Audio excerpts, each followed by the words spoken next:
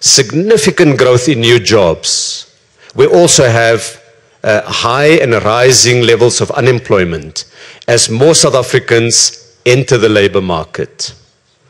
And at the fiscal level, we have a more constrained fiscal space, more limited ability to use the budget, and a rising debt, public debt, that we need to factor into our thinking.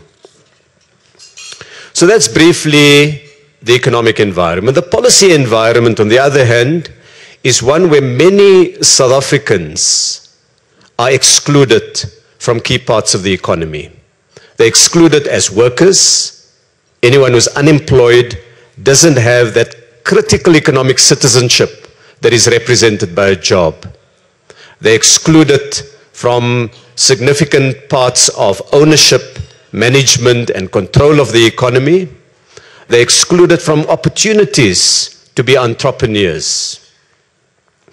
And that underlies and underpins the call by the ruling party for radical economic transformation, something that addresses this.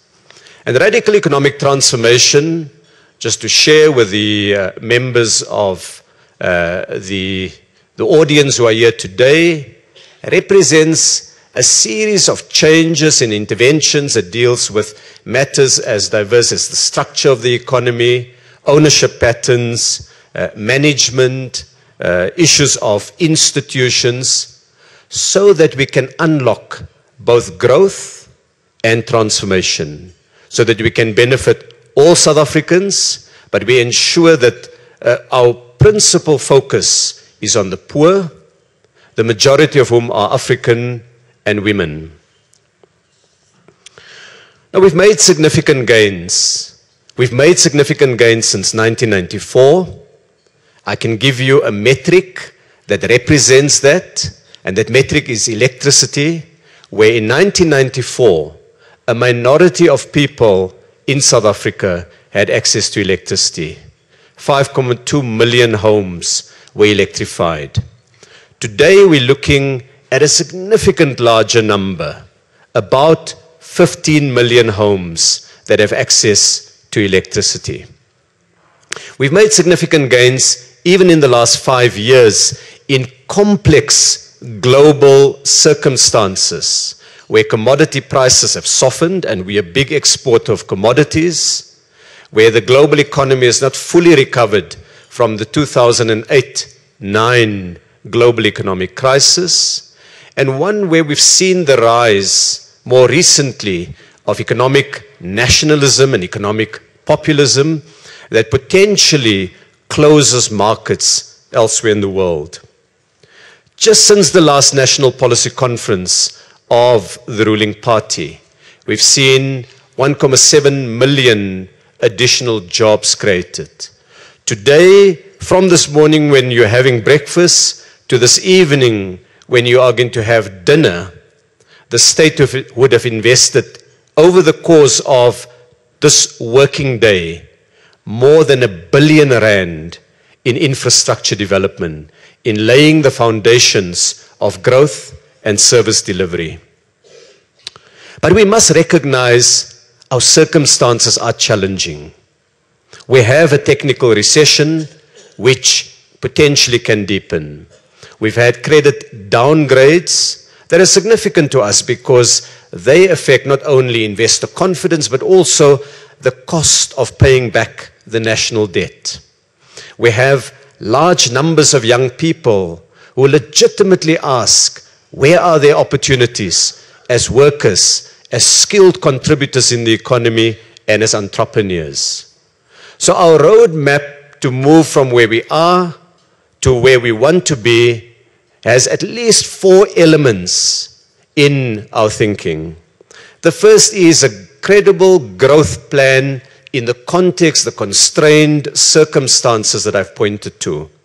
A credible growth plan that points to sectors with high economic potential, sectors that can grow, that can create more jobs, that can attract investment, but it also involves effective implementation, implementation within government and implementation within the private sector. The second part of our roadmap is to transform the economy, to make it more inclusive, to give opportunities to more black South Africans, to young people, to the rural excluded, and to the urban unemployed. And critically for us, to address issues of economic concentration. The third area is integrity in government. To be seen and to act swiftly against corruption and to deal with the state capture allegations both honestly and swiftly. To ensure that we manage our state owned companies in the interest of all South Africans, that our fiscal policies are sustainable, and that we inspire confidence in our people. And the fourth element is to deepen partnerships. Government is a powerful instrument, but government cannot pull a society forward alone. It needs partners. It needs partners in the private sector, businesses that are here today, businesses elsewhere who are not present today, who need to join hands with us. It needs partners with organized labor, with trade unions, with workers who produce the wealth of our country to say, how do we work together to ensure that we create more jobs, we bring more investment into the economy, we grow this economy, and we transform it. And partnerships is about everybody bringing something in order to increase the size of the economy, and that in the economy that all South Africans can, can take, can benefit from. Now, in the public discussion, there's been a significant concentration on issues of economic exclusion. How to make sure that our economy does better and that our economy delivers to ordinary South Africans. So I want to look briefly at issues of ownership of, and control in the economy. And I'm going to give a case study of the work of the competition authorities. That's the Competition Commission and the Competition Tribunal, and ultimately, through their work, also the Competition Appeal Court. Over the last eight years or so, we've begun to re-engineer the work of the competition authorities. And they've focused on two key areas. And in future, they will focus on a third one. The first area they focus on is mergers and acquisitions. What should apply when one company buys another? And the second one is they focused on cartels and abuse of market dominance. So let me give you an example to illustrate what it is that an ANC led government seeks to do. Coca Cola recently announced uh, that it wanted to amalgamate a number of its bottling operations, introduce efficiencies, and then later ensure change in the overall shareholding. So they come to the competition authorities and government and they put that proposition on the table because in our Competition Act, they come via a regulatory process. By the end of the discussion, as we engage with this multinational corporation, we reached an agreement with them, an agreement that seeks to advance the national development goals of our country. And the areas we focus on and that we reach agreement on include the following. One, that they need to ensure that the merger supports jobs. So Coca Cola has given a commitment that effectively means that for a five year period, they will maintain the aggregate levels of employment in the South African economy. Second, we ask them to ensure that their ownership structures represent a transformed ownership. So they've committed to move from 11% black economic participation in their shareholding uh, progressively to 30% BEE ownership in the shareholding. Third, they agreed that they'll set aside 800 million rand in a fund, a fund that will support small businesses, bring black farmers into their supply chain, ensure that township enterprises are supported, and that we in fact ensure that the footprint of a large company supports the development of more South Africans as active economic citizens in our country. Fourth, they agreed that an iconic South African brand called Appletiser that was bought over uh, by the Coca-Cola Group will remain committed to South Africa. Production will be here local, that more of Appletiser and Grapetiser will be exported to the rest of the world, that Appletiser itself will have a minimum of 20% BEE ownership, and that Appletiser will buy more local products like grapes and apples and pears. And by the way, just in the space of one year, they've increased their procurement of red grapes from less than 10% to more than 40% as a result of that agreement. And finally, they committed that they would open up spaza shops. You know, in spaza shops, the fridges are largely uh, owned by the big companies like Coca-Cola. And the condition to that fridge is you can only stock products of one company, Coca-Cola. And we've said you've got to empower small spaza shop owners to have choice, to bring in the products of competitors so that consumers in townships have choice, so that there's a bit of price competition, so that spaza shop owners can make a bit more money. And they've agreed that 10% of spaza, uh, of these fridge space and display cabinets in the very small spaza shops will be available for competitors. Now, if you've taken that as an example, I could have given you one of 10, 20, 30 examples to illustrate that purpose of government that is focused on transformation can use the economic toolbox to ensure that all South Africans benefit from this economy. Let me use the example of cartels. These are examples where private sector companies, uh, or any company really in the economy, uh, colludes, cooperates with their competitors, uh, that has the effect essentially of carving up markets, of increasing prices, of reducing competition. It's not allowed in our, in our law. So the competition uh, authorities have been working actively over the last number of years, building up their capability to catch companies who are engaged in these practices because these practices don't help South Africans. And we've been very successful, and there are many, many parts of the economy that we have, in fact, cracked down. Let me just give a few small examples of cases that have been successfully concluded. The first is the example of fertilizers. Fertilizers are important because they represent a big input for farmers, and so they affect the price of food, food on the tables of South Africans. So a large South, African company, Sasol, is also a producer of the feedstock that goes into fertilizers. And we uncovered that Sasol had deep uh, concentration right at the top through the blending of the fertilizers right up to the selling of the fertilizers to farmers. And we saw that they were in breach of the competition laws.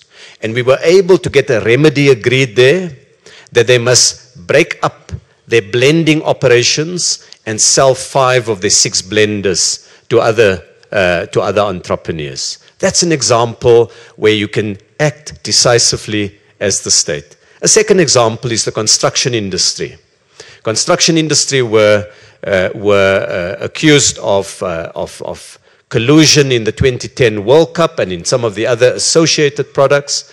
Uh, they uh, were investigated by the Competition Commission, and a number of them stepped forward when the, when the investigation was underway and said, look, let's come clean. We're prepared to acknowledge what we've done and enter into settlement with the state.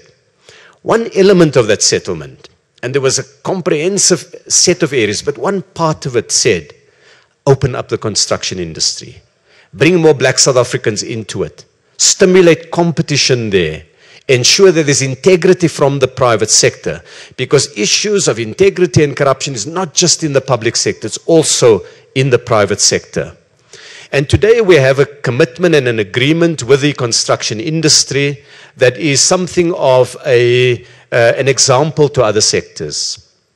And Roberts, for example, have just sold off the entire construction business to a black South African consortium. 100% will now be owned by a black South African consortium.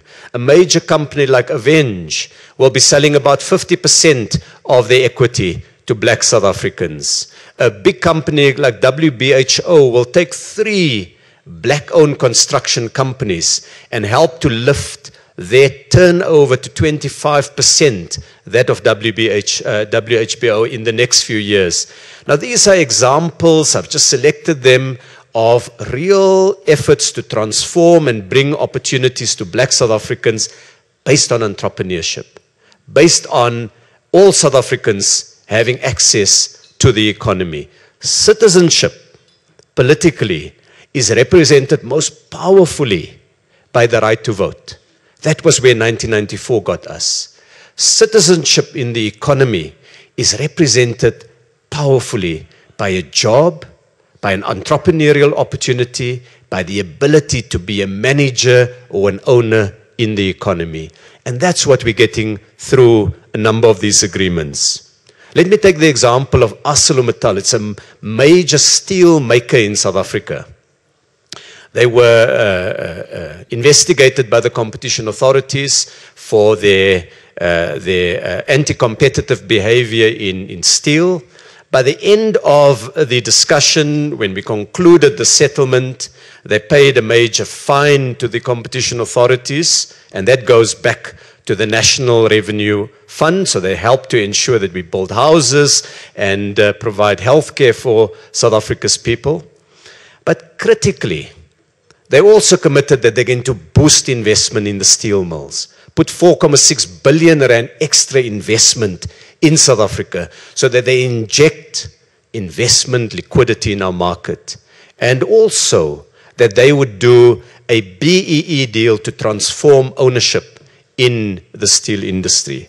Now, these are examples I've given, some of many, many others that we can cite, of real, tangible, bold actions by government to transform this economy and to grow the economy. Now, where, do, where to from here? We're still faced with significant levels of economic concentration in the economy. That's not good for South Africans, it's not good for growth, and it's not good for jobs. So we are looking at changing the mandate of the competition authorities, giving them more power and more authority to investigate where there are high levels of concentration and to give effective remedies to deal with those. So we will be introducing through the cabinet process uh, amendments to the Competition Act that takes this uh, important institution, the competition authorities, and give them a wider remit so that we help to ensure that our economy, in fact, is inclusive, that all South Africans have opportunity, that exclusion must be something of the past, not something of the present or the future.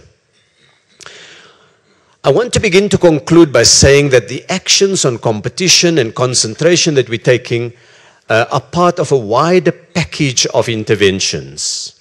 Infrastructure investment is critical to growth. In this year uh, ahead alone, we are committing uh, and working with the private sector to, un, uh, to unblock uh, investment in infrastructure. And what we seek to be able to do is pump 330 billion rand into public and private infrastructure. This would be rebuilding the foundations of growth. You need energy. You need logistics systems to move your goods around. You need water supply. You need infrastructure in the ICT area, broadband and fiber optic cables. And South Africa's people need healthcare services and schools, and uh, they need access to services in communities. They're all a product of infrastructure investment. Industrial funding, we've asked the Industrial Development Corporation for this year ahead to dig deep into their resource base, to work their balance sheet actively, and to commit between 15 and 18 billion rand of fresh investment in the economy. And to, because the IDC has private sector counterparts, to attract up to 30 billion rand of private sector investment in those projects so that we can get South Africa working. We've set up a 1.5 billion rand steel competitiveness fund to deal with the, the challenge of the global glut in steel markets. We're bringing new foreign investment in. A major Chinese automaker is, uh, is opening a new car making plant in Nelson Mandela Bay. And they're going to bring, it's an investment of 4.3 billion rand, the first new auto plant in more than 40 years, by the way, that has been set up in South Africa. We're bringing new foreign and domestic investors in as partners in Scaw Metals, a major steel making company. And finally, by way of example, we know we're a data driven society, that the 21st century is the century of data, that what oil and steel was to the 20th century, our cell phones, our laptops, and the information uh, technologies that we use will be the critical fuel. Data costs must come down. I think all South Africans will agree to that. So we've launched now a market inquiry, and I can see both here uh, uh, among the attendees in the breakfast, and I'm sure South Africans sitting at home want to pay less for data on their cell phones, on their laptops. So we're starting, we're going to be having a market inquiry where the competition authorities will lift the lid find out what's happening to prices. How do we compare with international players? How can we bring data costs down? What are the recommendations that we need to look at? Let me wrap up. I am speaking here to business uh, representatives. We need your help. We need the help of trade unions and workers. We need a more effective state, that partnership of an effective private sector, effective representation of the voice of workers, effective government can ensure that we build on the many successes and that we acknowledge the challenges we are, but that we build on those strengths to deal with the challenges that we face that we create jobs, that we deepen economic development, that we grow this economy inclusively, and that we transform the economy. Thank you very much.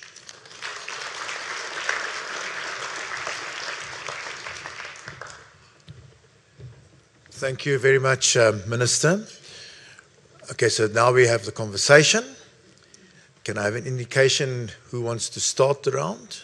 I've got uh, one indication, two indications, three, four.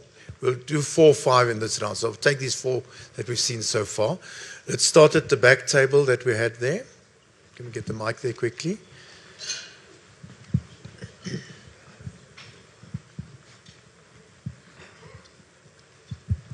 Good morning. Um, the name is Tabara Mule from Icancer Holdings.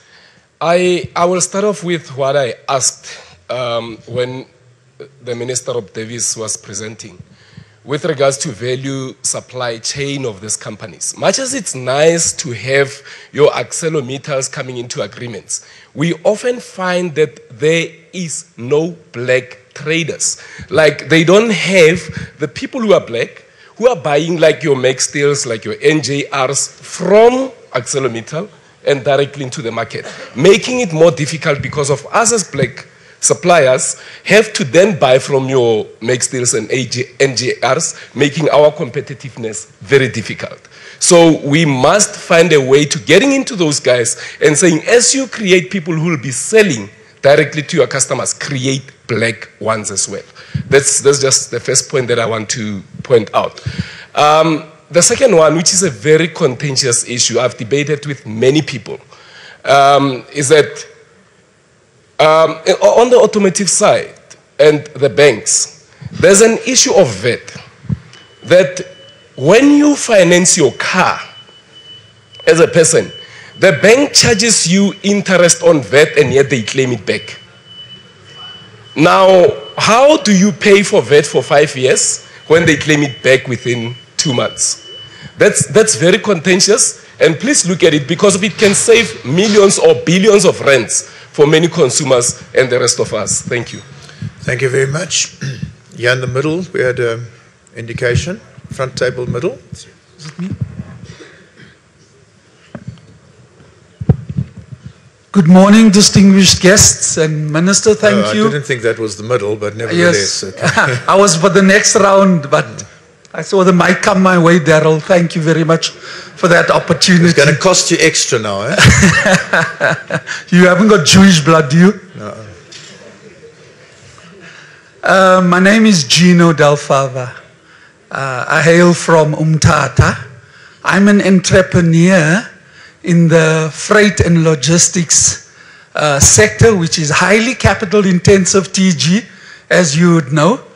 Uh, it's untransformed and it's monopolized by those German multinationals, DHL and DSV. I think most of the business people in the room know them.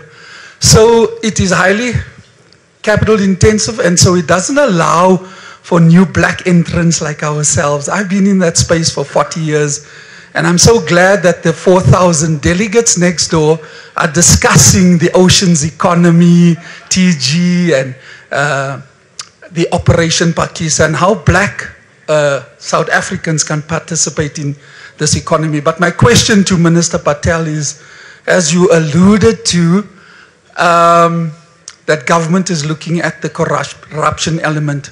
As an entrepreneur for 40 years, um, when we go to B show and these government departments, we see the arrogance from the public servants. They treat us like scum.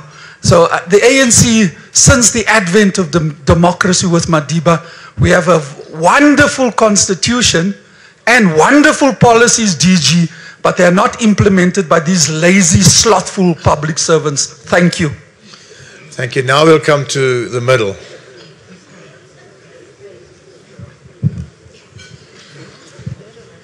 Yeah? The front table in the middle. Good. Thank you. Morning, everybody. Uh, my name is Bucks. I'm representing a company called Ikahen Electrical Construction. Uh, it's grade 8 EP, 100% black owned company with a staff of about 150 employees. Uh, Mama, two questions. I've raised them previously, but I think they are relevant individuals here to can assist. Uh, how do we penetrate, especially to the Minister Patel, how do we penetrate the African market, especially on the electrical part?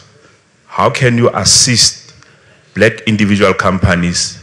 How do we get in there? Because it's very difficult to get in there. Practically, uh, Minister, please. The second questions that will go to the DG. Uh, how do we also form a part of a team that normally goes around the globe with the president for investment opportunities?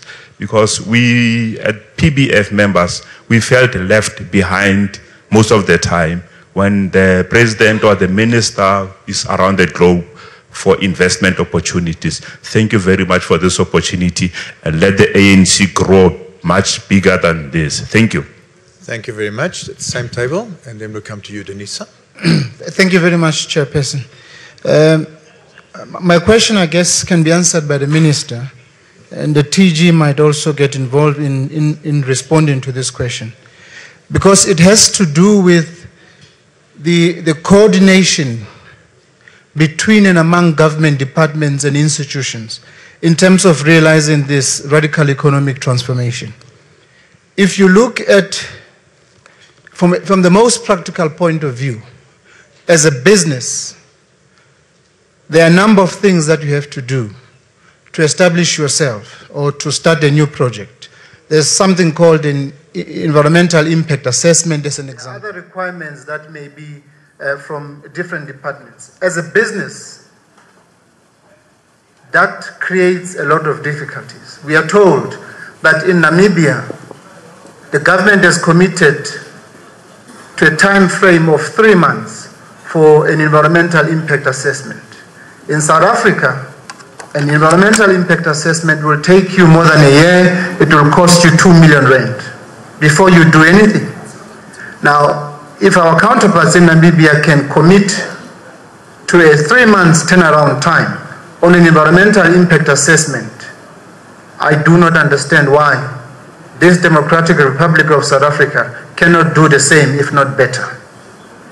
So, Minister, how do we ensure that government coordinates these activities? I, I, I have read the economic transformation discussion document that has been discussed on the other side.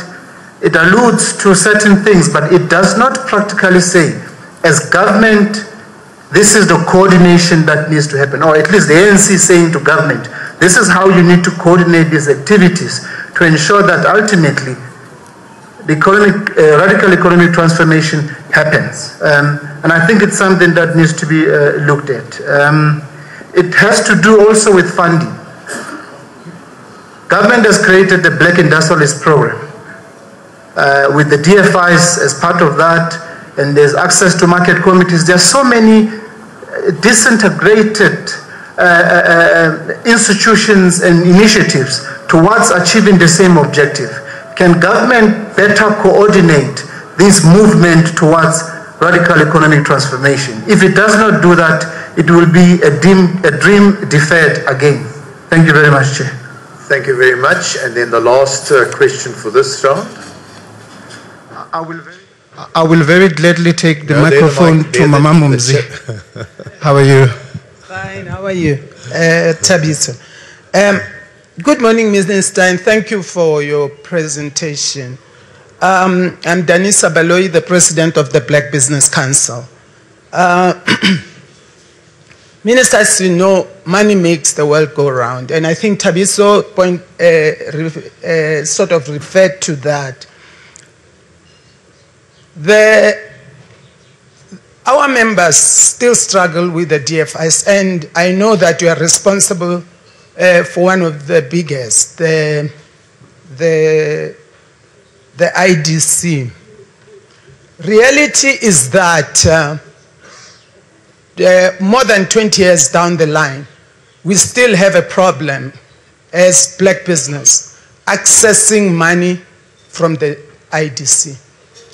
Um, if we really are serious about radical economic transformation, something has got to give at the DFIs to have um, rules and regulations that um, are not more stringent than the banks. We know at the moment that uh, the financial institution, whether they agree or not, are on an investment strike.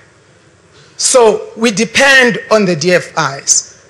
Um, how can we be sure that after this conference, there be a plan that will ensure that funding for black business, for small, medium-sized enterprises, take a different course altogether that will ensure that we don't fill in a million forms, uh, be dragged for 18 months, and then in the end don't get the funds. Lastly, how do we ensure that, um, Minister, the, the, the colluders, well, I don't even like to call them colluders because if it's the private sector and big business, they collude, black people are corrupt. No, the, the companies that break the law and in my, my view, corrupt, are brought to book to ensure that they help with transformation. You've, you've talked to a few who have had, um, you know, some moral Damascus and come to the, to the fore. But there are plenty more who refuse, even in the trans, uh, construction sector, to, to do the right thing. They still won't do it. And many others. And we can talk to many areas in the, in the arts and culture, in its collusion or corruption everywhere. Black business is closed out. This conference has to come up with a plan that will eliminate it once and for all so they do not continue to collude that the value chain are open up. I'm glad my brother spoke about it because that's the problem. Thank you, Darren. Thank you very much. Um, Minister, over to you.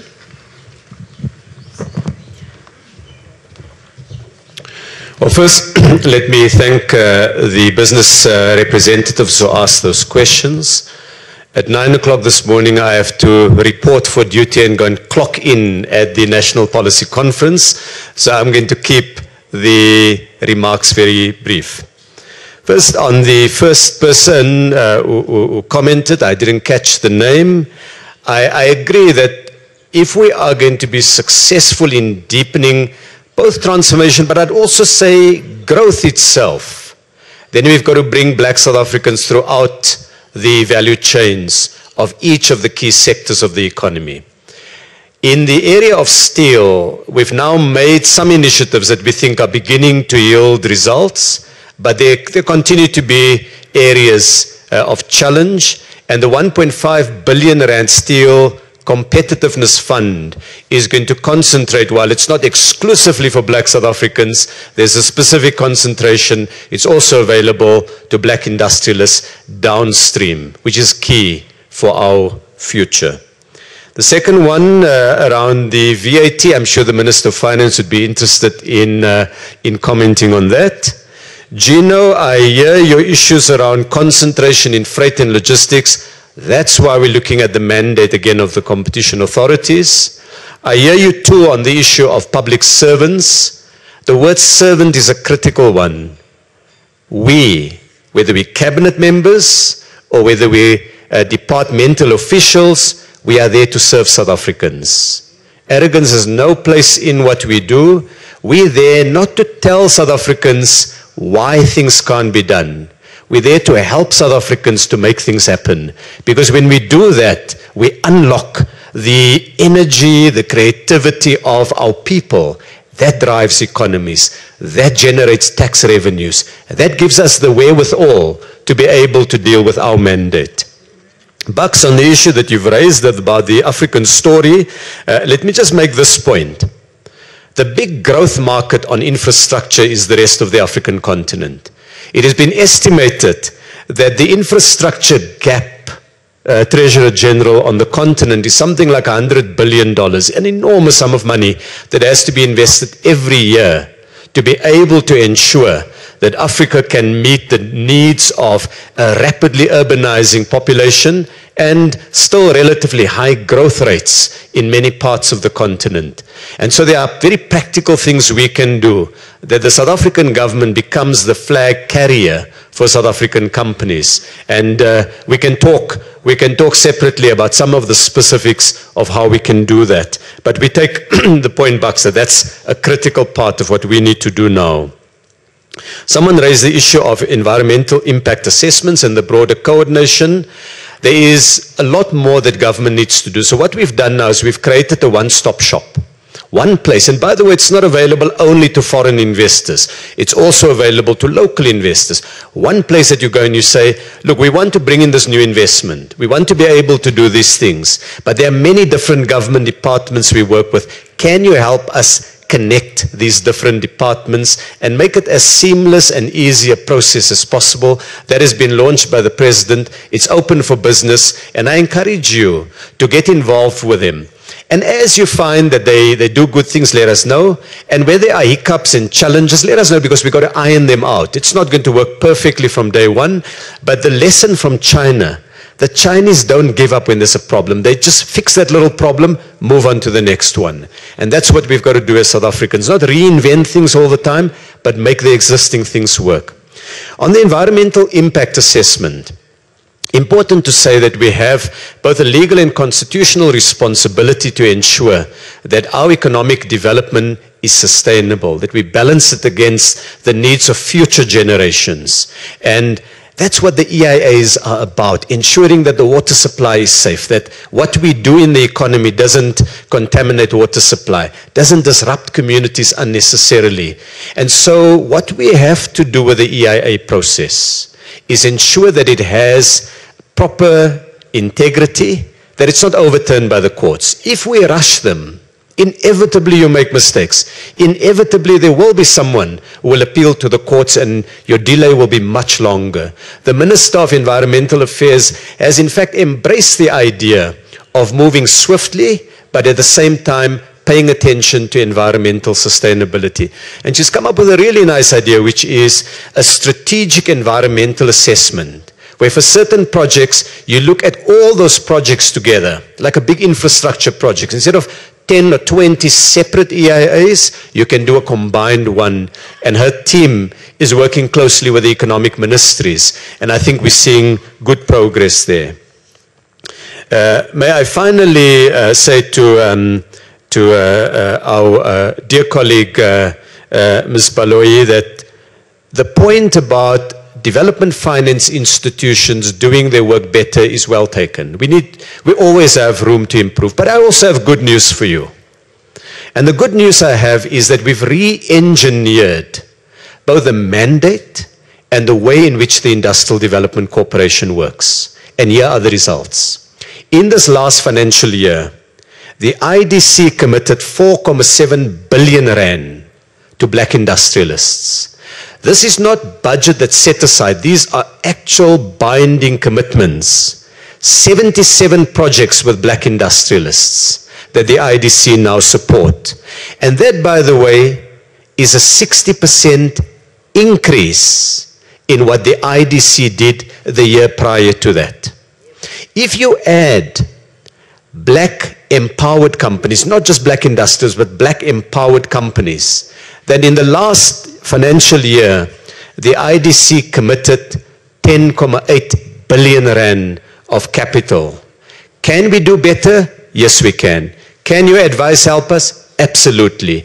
Can we improve our systems? Yes. But let's also celebrate the significant gains we are making, and I know that you also acknowledge and support. So thank you very much. I wish I had more time to be able to engage, but um, uh, the people who ultimately represent the mandate makers want to make sure that members of cabinet are there to hear the views of members of the ANC from branches all over South Africa democracy in action. I've really enjoyed this very brief engagement. Thank you very much. And I know the Treasurer General will be dealing with one of the questions that's been put to him. So thank you very much, Daryl, and thank you very much for the very warm reception we've had here this morning. Thank you.